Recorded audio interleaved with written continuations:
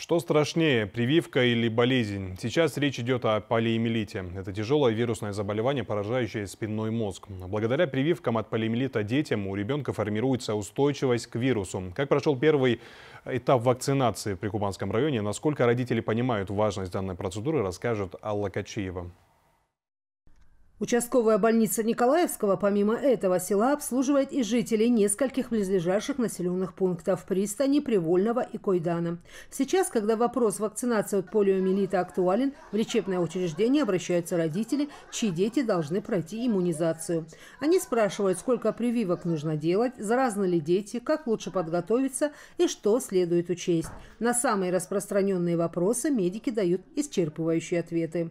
Очень много лишней информации. Информация из интернета, информация в этих в чатах в родительских.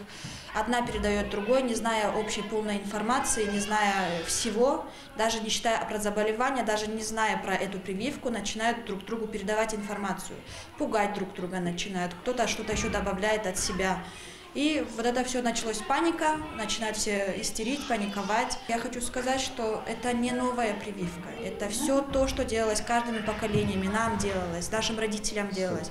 Ведь полиомиелит является серьезным инфекционным заболеванием, которое в стадии развития приводит к инвалидности в случае поражения серого вещества спинного мозга. Полиомиелит – это заболевание, вызывающее вирусами, которое поражает нервную систему. Очень опасно для детей до 7 лет, очень опасно, очень заразно. Поэтому Поэтому мы и боимся этой возрастной группы, э, что они заразятся и заболеют. А симптоматика у заболевания такая, что ее схожая очень с обычным ОРВИ. И сразу распознать ее очень тяжело. А последствия очень э, плачевные и приводят к инвалидизации практически в большой процентной ситуации. Как говорят медицинские работники, прививать можно только здорового малыша. Не должно быть кашля, насморка, повышенной температуры, расстройства пищеварения и аллергических симптомов. Мы советуем привиться детей и не думать, не слушать все, что, всю лишнюю информацию, которая идет из чатов, а слушать докторов, слушать ту информацию, которая должна быть, а не та, которая идет с улицы. И еще доктора предупреждают, нормальная реакция на иммунизацию, небольшое покраснение, отечность. Эти явления вскоре проходят.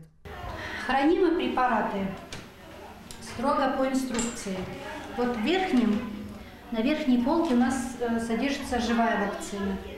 Дальше идет адсорбированная вакцина. Все с соблюдением температурного режима, холодовой цепи. У нас хладоэлементы есть в морозильнике, в морозильной камере.